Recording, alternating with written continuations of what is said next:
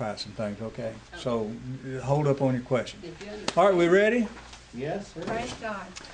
All right, here we are once again. This is week number three. Our course is Kingdom Concepts, uh, third part, and uh, our specific uh, topic of study for the entire term is eschatology, which means what? The study of them things. The study of last things. Last things. Yeah, study of last things, which would include the coming of the Lord, uh, the resurrection, new heaven, new earth. It could even be your own personal physical death. So those are all issues of eschatology. All right, we're going to do a quick review, and, I say a quick review. It may, it very well may take a great, uh, it may take a majority of the class, but I think it's important enough. I hope that I have organized this in a way that uh, it will be uh, clearer. I'm not going to say it'll be clear, but I pray that before the end of the term, it's going to be clear. You'll either clearly be confused or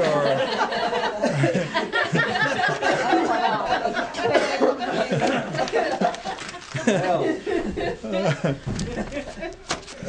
Well, okay. I can see clearly now. The rain is gone. Well, depends on how you put it. Yeah. Yeah. Yes, it is. All right. Let me see where we want to start here. How about in chapter one? And that's probably where we're going to start. Okay, we're going to look. Uh, here's our first uh, slide. The views of the millennium. Of course, we have. You actually have three major positions of the millennium. You have premillennialism. You have postmillennialism. Mhm. Have amillennialism. Those are your three major isms, or millennialisms. There's a millennial. Pre- Premillennialism. It's referring to the millennium, which is referring to the thousand year period, right? Yes. And then, of course, uh, we have to understand where that comes from. It comes from Revelation 20. Then we have to we have to determine whether it's a literal thousand year period or whether it's symbolic. So the three major are premillennialism, post, and ah. Premillennialism just simply says that the second advent of Christ, which just simply means the second coming of Christ, is before the beginning of the millennium. However you interpret that, and it's usually interpreted as a literal 1,000 year period. Okay? Postmillennialism just simply refers to the coming of Christ, the second advent of Christ, at the end of a thousand year period. And amillennialism basically says that the millennium is not a literal thousand year period. Ah means not, but there are certain things that that, that amillennial, amillennialism teaches concerning eschatological issues. Now, those are your three major categories, but we're going to take a look at preterism, which, uh, in one sense word, I say in one sense word, uh, in yeah, really preterism is amillennial, but they're different from amillennialist.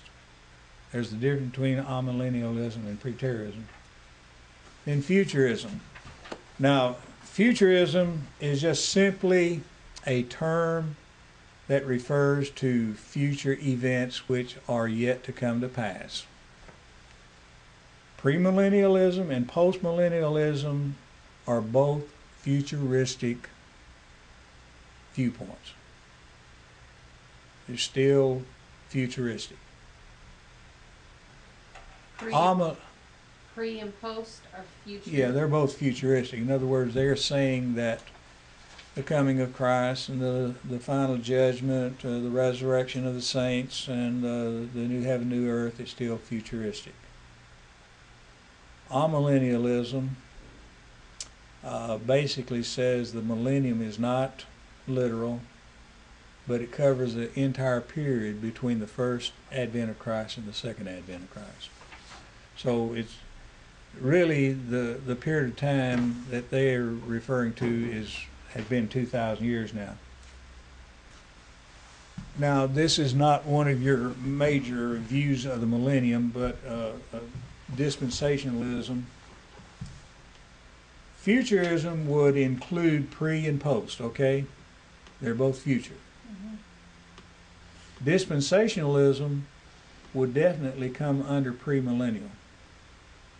Dispensationalists are premillennial, premillennialist. And we're going to review, we've already talked about all of these, but we're going to review them as best we can here with our PowerPoint. Let's look at premillennialism. There are two types of premillenarians, or premillennial. Can, pre, a premillenarian is a person, okay? Premillennial would be an adjective. Premillennialism is a noun. You know, what I mean, they're, okay, they're just different parts of speech. It just depends on how you use them. Okay. The First type of premillennialism is what is called historic premillennialism. That basically has been probably has been identified historically as the belief of the early church or the church of the first and second century. I mean, premillennialism goes back a long ways. Okay, and we'll look at this in more detail. Then you have dispensationalism. Dispensationalism is premillennial. Okay, y'all follow me so far? You got mm-hmm. pre, post, and off. Pre and post are futuristic.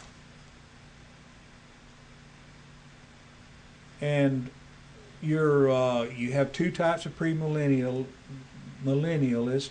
Basically, we'll take a little closer look. Basically, the main difference between the historical premillennials, millennialist, and the dispensationalist is that the premillennialists believe that the coming of Christ is before the millennium, but they don't believe in the rapture. And that has been the historic position pretty much of the church historically.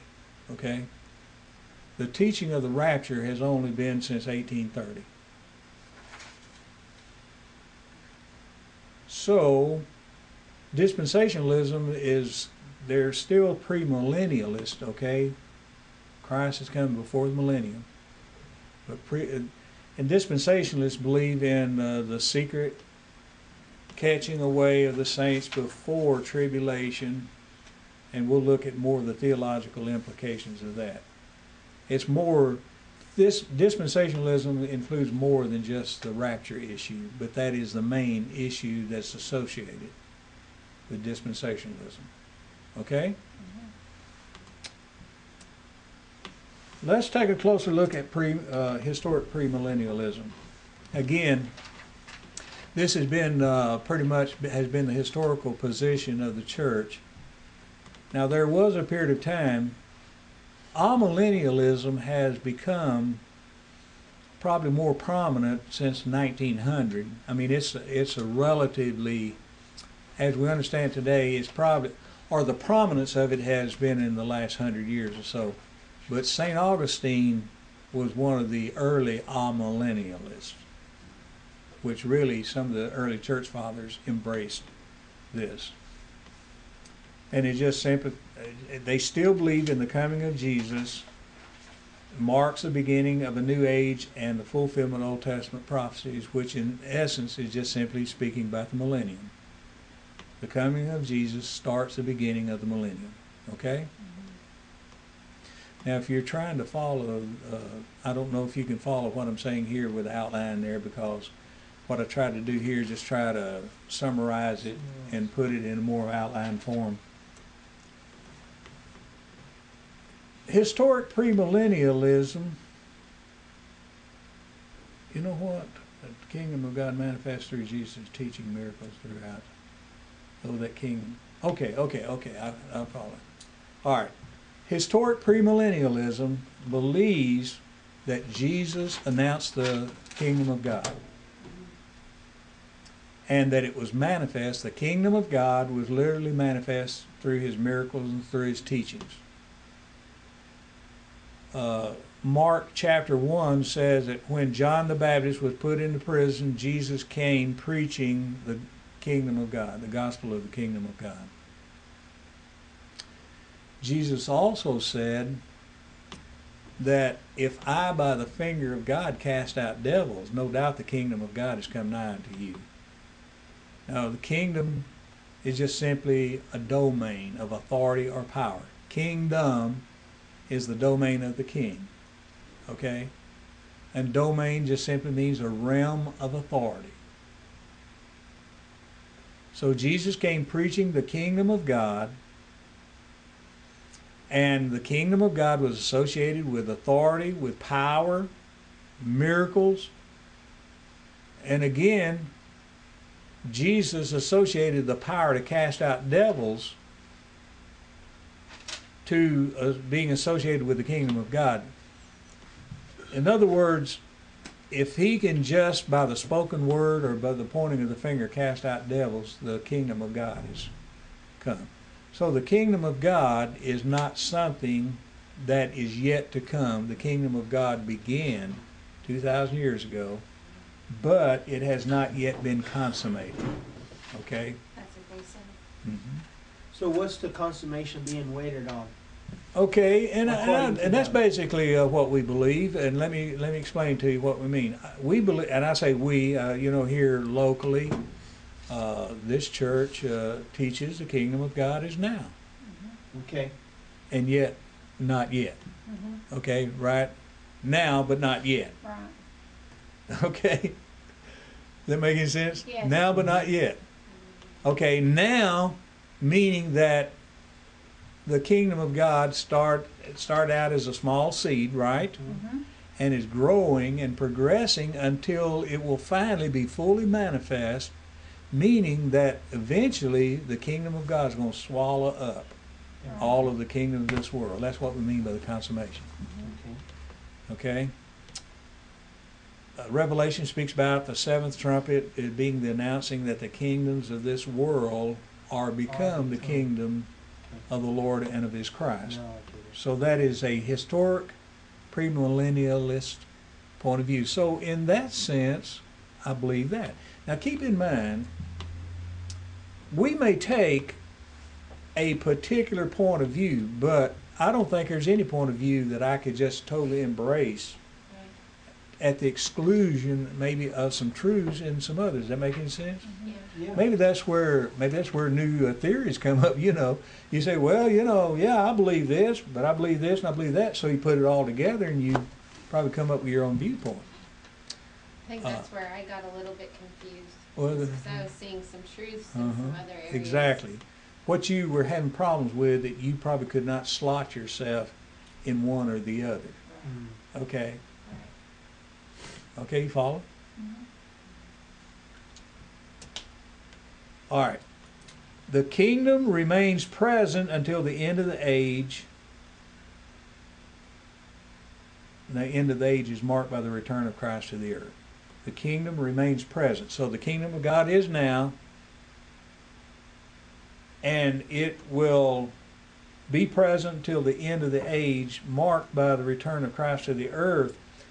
Now that um, premillennialism would not say that the kingdom ends at the return of Christ. So that might be a little bit misleading there, okay?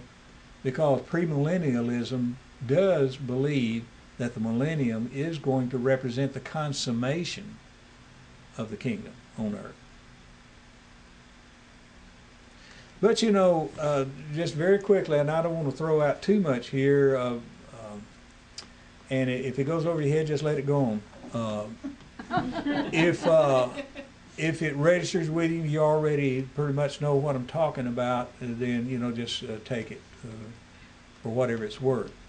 But there are scriptures that uh, we take from Isaiah that speaks about, you know, a lamb lying down with a, a lion or the lion eating straw like an ox.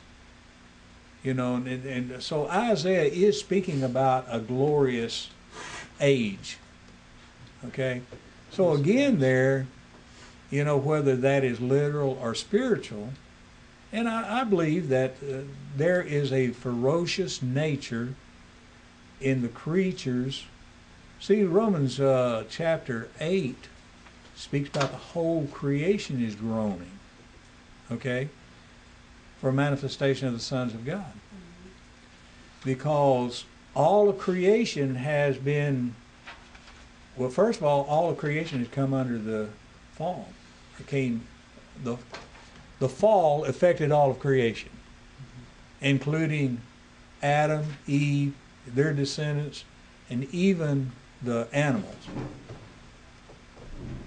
So I believe that there is a ferocious nature even of beasts that's not going to be. The, the time will come that that won't be. I have to accept that. I believe there there has to be a time when the lion won't have to eat the the zebras you know. And if the scripture refers to the lion eating straw like an ox, straw there is just simply grass, okay? A cow eats grass. They don't eat, they're not car, car, what is car, coniferous? Carnivorous or con, carnivorous? Yeah, either one. Okay, which just simply mean meat eating, right? A cow's not meat eating. A horse is not meat eating. Dogs are meat eating. Cats and lions and tigers, uh, which are cats, aren't they? Yeah. Uh, I guess you could probably say birds uh, eat bugs and insects, and fish eat other fish. So, in a, I guess you could say that they're flesh devouring species, right? Okay. And you know, sometimes you just wonder, well, whoa, you know, what's this all about? You know, uh, there is a balance in nature. God has it created for a purpose, and the, the ecology, I think, it just balances things out. You know, maybe um, I don't want to get too far into that, but the uh, historic. Oh, hit. Okay, all right. The historic premillennialist along with any premillennialist. In fact, I guess just about all of the points of view teach some type of apostasy at some point in time. But these believe in an apostasy and tribulation before the return of Christ. Now keep in mind there's a difference between the rapture and the coming of Christ. The rapture is not to be found in the Bible. It again refers to the catching away, secret catching away of the saints before tribulation while God deals with the Jews on the earth. And the reason why they believe that there has to be a tribulation or there has to be uh, a rapture is because the church cannot be present here when God deals with the Jews in the Jews' way. But again, God has one plan, one purpose, and that was fulfilled in the death, burial, and resurrection of the Lord Jesus Christ. And there will be no other way that God will deal with any nation. Okay? The historic premillennialists believe in a period of a thousand years which separates the first and second resurrections. The first resurrection being uh, like the raising of the dead and the second resurrection. Well, let's see. I guess I'm trying to think what they would actually believe. The uh, dispensationalists would believe that the first resurrection in Re- uh, Revelation 20 would be when uh, the saints come out of the grave. And the second resurrection, I guess, would be those that would uh, be resurrected at the end of the millennium, okay? the first and second resurrection. Now, that's what they believe, whether we believe it or not, okay? So I see that Dispensation. frown on your face there, so Is that one of your questions? Okay, what's your question? Like I said, I probably should uh, hold off on the question, but I'd, I'd just be curious. Just keep going. Okay. All right. During the millennium, Satan will be bound, the kingdom will be consummated. Now keep in mind this is historic premillennialism, which really your dispensationalists believe this also. Now what I say the primary difference between the historic premillennialist and the dispensationalist? One believes in the rapture one doesn't. Exactly.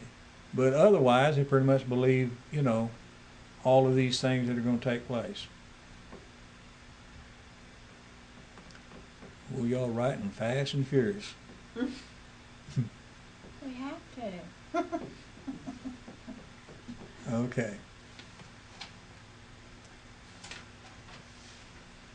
Then, of course, uh, this, this is Revelation 20 that Satan is loosed. See, Revelation 20 speaks about Satan being bound by chains. Now, let me let me just uh, throw this out right now before I go any further. Now, think about it. Is there a chain? Is there a literal chain that can chain Satan? No. That chain has to be symbolic. Yeah. Okay? But see, uh, your your pre-tribulational or your premillennialists, including the dispensationalists, say that that is a literal chain. You can't you can't lock the devil up in uh, in a room. So you know when you're speaking about a key, he's not talking about a key to a door. Okay, just a thought there. But Satan is loose, and then there's another rebellion. Now, this is, I know it's going to take something for us to sort through it all, but just hang in there, okay? Here, all hell breaks out during the tribulation before the millennium. Okay? Mm-hmm. After all hell breaks out in the seven year tribulation, then begins the kingdom of God on the earth, where Jesus, you know, rules and reigns with his resurrected saints. Now, I'm, I'm, I'm, I'm saying this not necessarily because I'm not forming any opinion. I'm just making a statement here, okay? And then for Satan to be loosed one more time, you know, so he can go out and deceive the nations. If the kingdom, if the if this kingdom is going to be a kingdom of peace and uh, you know completion, uh, who are the nations that are going to be deceived? You know, if the kingdoms of this world become the kingdom of the Lord and His Christ, who are the nations to be deceived? Y'all hanging in there? Okay. And then, of course, after this rebellion is put down, is the beginning of a new heaven and a new earth. Now I know, uh, I know what some of you are thinking. I I can I can kind of pick up some vibes. You say, well, that's what the Bible says. Well, yeah, that's what it says, but you have to determine what it's really saying. And people say, well, you know, the Bible, you know, it's just like a, uh, it's just, it, it says what it means and means what it says. Well, that's true.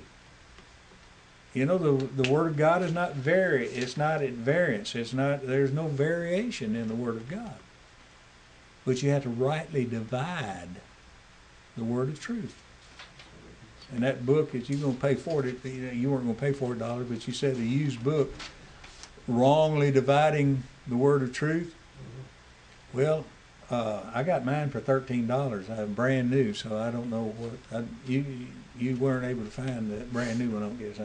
No, this was on. Okay. All right. Okay. Now let's look at dispensational, dispensationalism. Now, which does it come under? Which millennial thought does it come under? Pre-millennial. Pre. Okay. Mm-hmm. Pre has two categories: historic, pre, and dispensationalism. We're not going to talk much about this now, but I will present it here in just a moment. I will, I will spell out the seven distinct periods or dispensations that are taught in dispensationalism. If you believe that there are certain dispensations, that's okay in one sense of the word. If you want to talk about different ages, you know, the Bible talks about ages on top of ages. Uh, an age is a period of time. If you're talking about the end of the age, you may be talking about the end of one specific age, okay? But what you have to be careful about is when you say, and this is what dispensations say, they say that God dealt in a certain way in the first dispensation, then he to- dealt totally in a different way in the second. In other words, there's no connection between the, the dispensation. You follow no progression, mm-hmm. no progressive revel- revelation. I believe that revelation is progressive. The kingdom of God is progressive. yes, I believe that God is ever unfolding by revelation Amen. His truth and His kingdom. Mm-hmm. Okay? Dispensationalism argues for literal interpretation of prophetic scriptures. Now, there is a basic principle of hermeneutics. Y'all want to know what hermeneutics is? It's just interpretation of scripture. Okay, don't ask me to spell it. Okay, just put, just put. But I can spell it, but I don't want to take the time to. Doesn't it say that it's gotta stay the same all the way across from one, from one end to the other, harmonetics? Uh, well, that, I guess that would homil, homiletics uh, would refer to uh, the way you structure a sermon. Hermeneutics would be interpretation. Oh, Okay. All right. Um, there is there is a uh, there is a principle of interpretation of scripture that you take scriptures literally where you can or whether it's a simple truth. Otherwise you just have to interpret the scripture by what is intended. And and when you're talking about uh, apocalyptic apocalypse keep in mind just simply refers to unfolding unveiling. When you talk about the apocalypse you're talking about the unveiling okay? And anything that's apocalyptic is a mystery that is being unveiled. Just uh, just to show you that uh, we we can't be too far off when we talk about uh, the spiritualization of certain scriptures. Matthew 13 is a chapter on parables. Now, I was always taught in Sunday school growing up that a parable was just a little simple story that everybody could understand, that you can relate to. Now, that sounds pretty good. How many of you have heard a parable is just uh, you know something that you can put in everyday language that you can just readily understand? But that's not what Jesus said. Jesus said that a parable is spoken in order that you have to have revelation to understand what the parable is saying. Otherwise, the unregenerated mind could take it and understand it. Parables are not designed for unregenerated minds to understand. Now, it has to be revealed. It has to be a spiritual revelation. Now, Jesus was a master teacher, and he did take uh, everyday illustration, and it's amazing when uh, when you see how Jesus will bring things out that just confounded the multitudes and confounded the Pharisees. But Jesus said that this is for the children of the kingdom to know and all of the parables, the parable of the sower, the seed, you know, some fell on the wayside and stony ground and the good ground and so forth. Jesus goes on and he, he explains it. He opens it up, which is typical of the Holy Spirit revealing to the believers what God is saying in a mystery.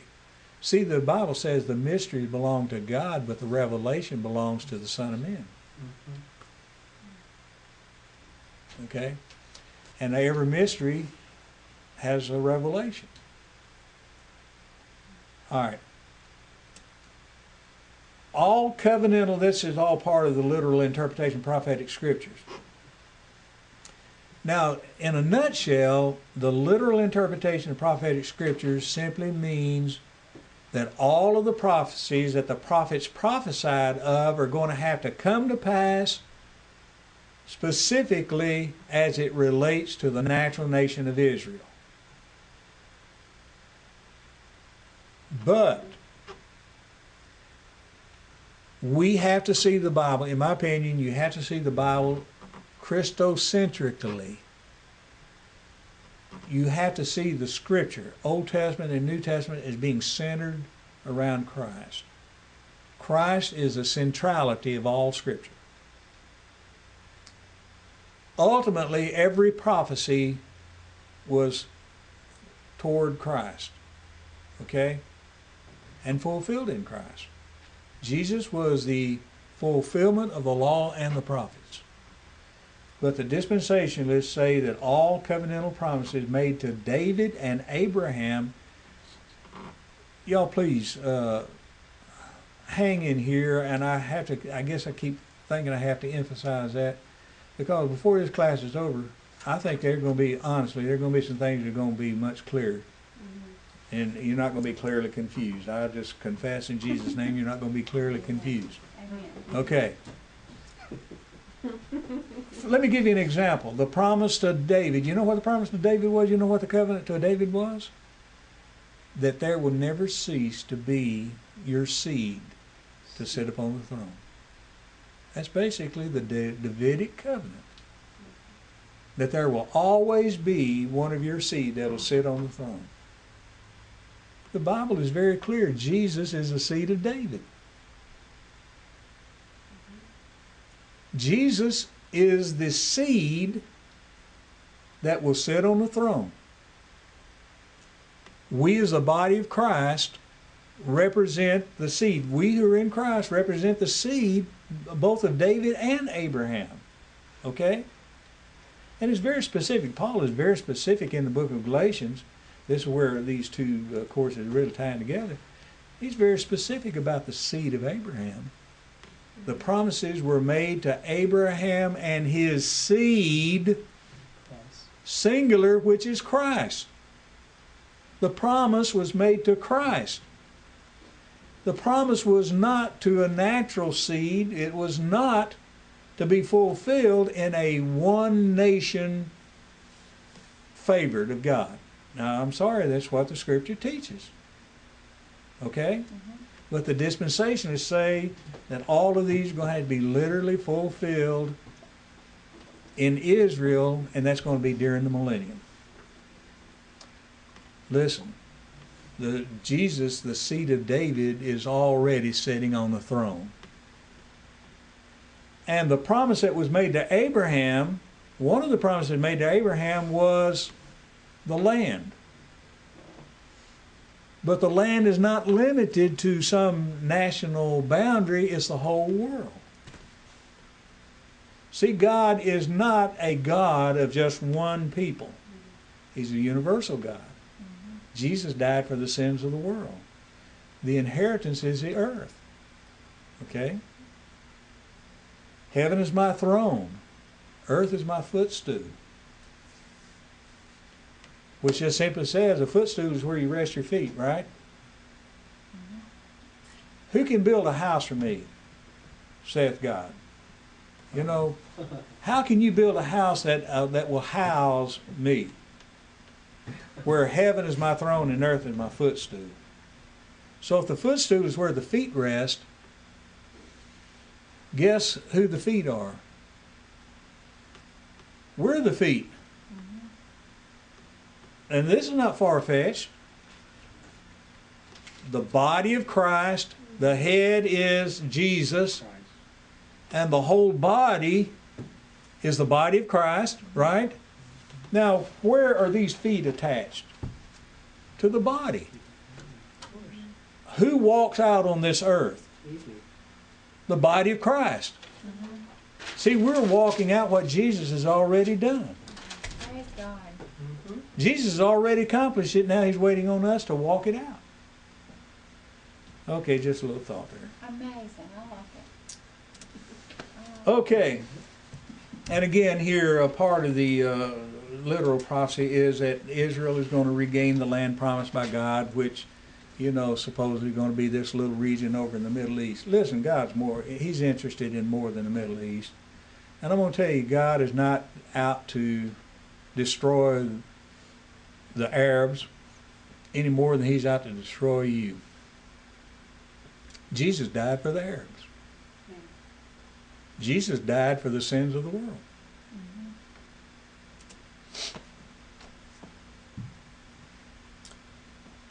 Dispensationalism teaches that God's redemptive plan focused on national Israel. Now, you have to understand what this is saying, okay?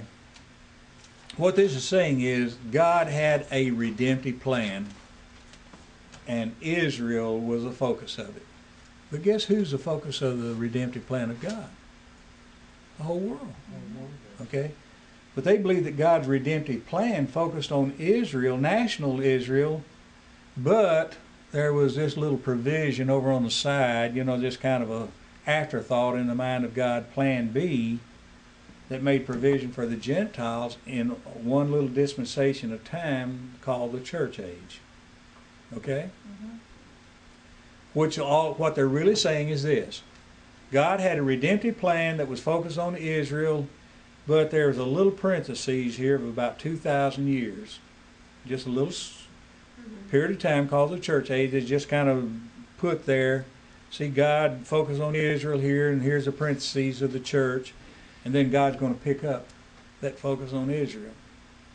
Do you do you follow honestly? I don't mean to. I don't mean to uh, denigrate. I don't mean to belittle anyone's belief. I guess I just had to say as Paul. Oh foolish Cedar Town, you know, oh foolish whatever, oh foolish Galatians, who has bewitched you? Aren't you glad that God had a plan in mind before the foundation of the earth and he knew precisely what was going to happen? You know, God didn't say, oops, you know, um, Israel didn't respond the way that they were supposed to respond, so I'm going to have to move to plan B. And then when Israel gets their act together during the tribulation, I'll have to pick up, back up with plan A again. God has one plan, one redemptive plan. Amen. We weren't an afterthought. What's that? We weren't an afterthought. Yeah, we're more than an afterthought, aren't we? We're a Right. forethought. Okay, here's another here's another major tenet of dispensationalism. God has two different programs for Israel and the church. Two different programs. And that's basically what I just said. God's got two programs. God's God has two redemptive plans. God has one redemptive plan.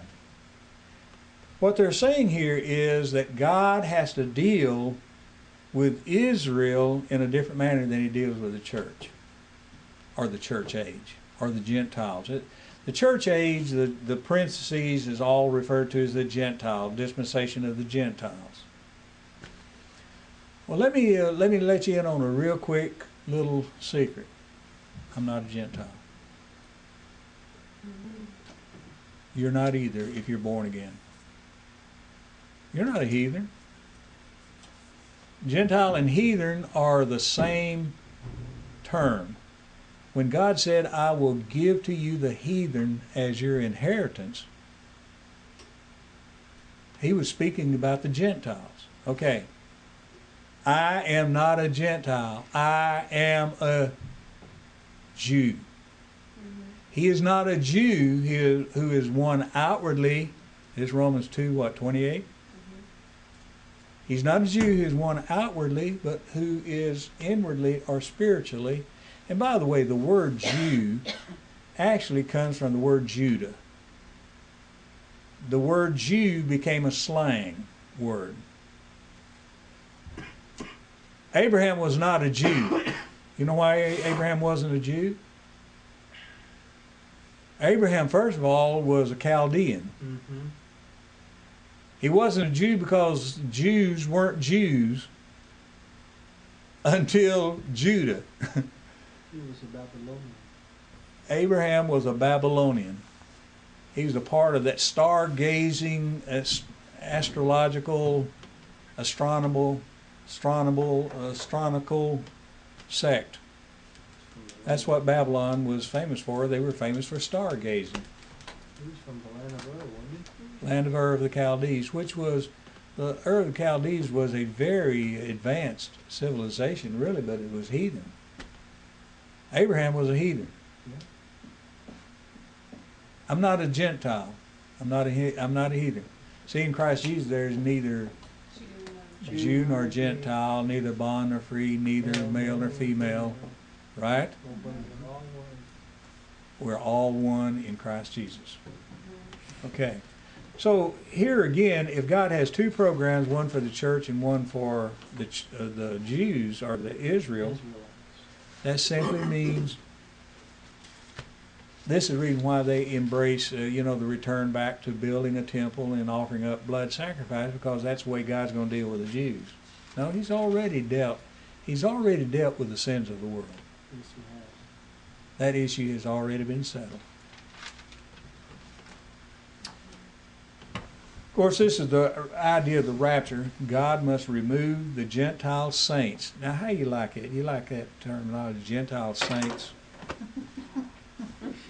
Like That's the, a, that's an oxymoron.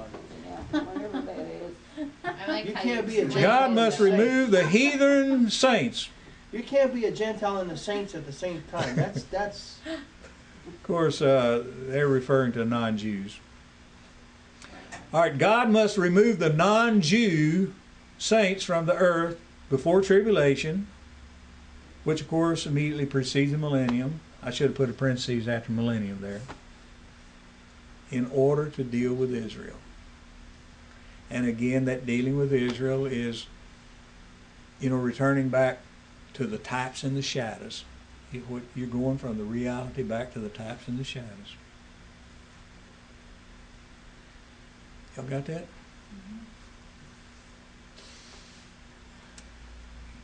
All right, I'm going to just introduce, we're not going to make a lot of elaboration here, but I'm just going to introduce the seven dispensations so that you will intelligently know what dispensations that are being referred to. And keep in mind that dispensationalists believe that God dealt in a specific way in one dispensation with no crossover, just enclosed within that period of time. The first dispensation was a dispensation of innocence, which is just simply the dispensation or the period of time before the fall. I can accept that. See, the first promise of the Messiah, of the Savior of the world, was Genesis three fifteen. What does that say? Somebody know? The seed of the